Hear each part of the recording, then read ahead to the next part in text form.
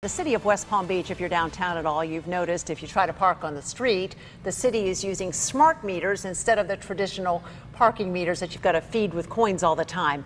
And today, the Palm Beach Town Council is considering adopting a similar pay by phone method. Kind of a good idea for those of us who it's very convenient if you have credit cards or that app. And we talked about this yesterday. We don't carry quarters a lot, and so we find ourselves kind of in a sticky situation. A lot of people out there probably can relate. News Channel 5's Christina Noche is live this morning with more details. Hey, Christina.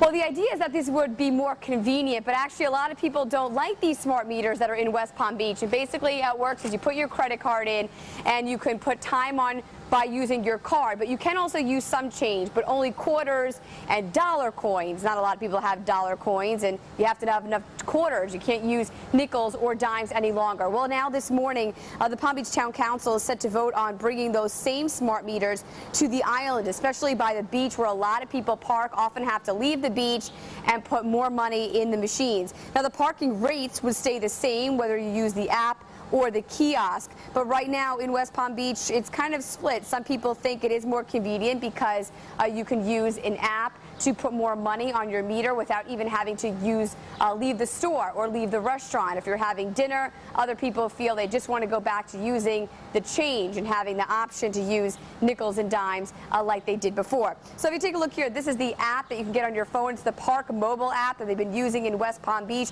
You just put in your license number, your credit card, and you can pay it right from your phone. If they do decide to put these uh, on Palm Beach, you should see them in about the next two months. Reporting live this morning, Christina Noche, WPTV News Channel 5.